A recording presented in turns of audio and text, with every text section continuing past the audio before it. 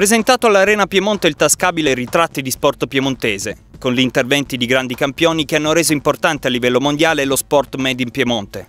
Roberto Bettega, una gloria bianconera. In questa festa dello sport, qual è il messaggio che vogliamo dare?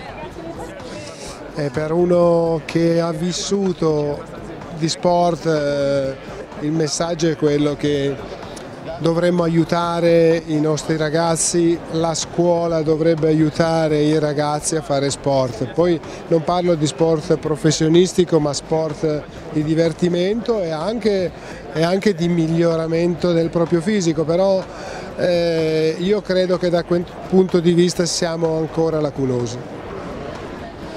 Emiliano Moretti, questa festa dello sport, un giovane atleta così che rappresenta una realtà così importante per il territorio piemontese come il Torino, qual è il senso di questa giornata per conto tuo?